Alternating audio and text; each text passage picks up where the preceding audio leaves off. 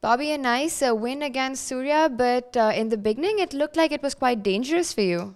Yeah, so um, in the beginning I kind of mixed up my preparation a little bit, but um, he got a really good position, but I always had some like tactical tricky chances, so it was never easy, and in the end he just missed something in time trouble. Right, and uh, do you, I mean, you're obviously really happy with the way the game went. At what point did you feel that he's gone wrong?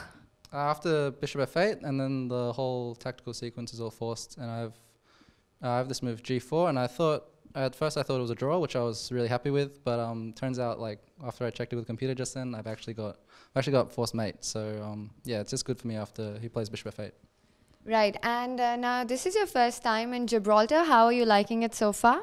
Yeah, this tournament is. Uh, I'm from Australia, so obviously we don't get this strength of tournament or anywhere near it uh, over there. So this is a really good experience. I got to play. Um, yeah, I got to play Ivanchuk, which is, you know, which is an amazing uh, experience. Um, well, I, I, lost the game, but you know, still, uh, it's worth. It's really worth the trip to come all the way here.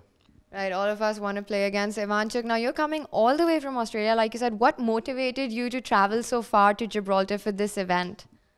Well, I've always I've been like 2400 or thereabouts for a few years now, and I've um, always wanted to get my GM title, but the last few years haven't really you know gotten so many GM norm chances in Australia. So I thought um, I'm on uni holidays right now for a few months, and you know why not play one of the world's strongest tournaments?